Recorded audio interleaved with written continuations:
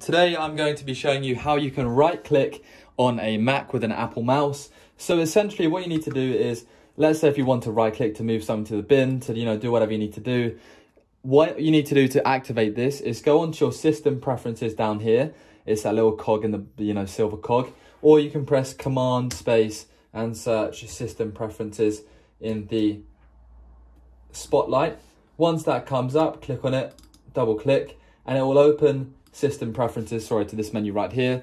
Once you're on system preferences, you want to find the mouse section or even the trackpad if you're trying to do this with a trackpad. But as you can see, I've got a mouse. You're going to click on the mouse, double click it, and we can see we've got point and click and more gestures.